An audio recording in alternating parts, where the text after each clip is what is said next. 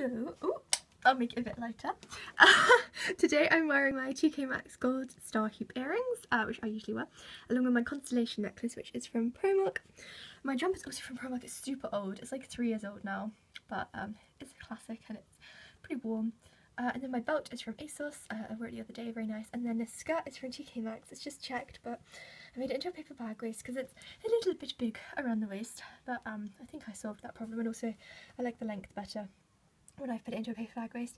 My ring, if you can see it, uh, is from Brandy Melville, it's just stars on it as well. And then my tights are from Primark and my cat is, uh, well I didn't buy him from a shop, I adopted him, so uh, yeah, I don't know where he's from, but that's what I'm wearing today.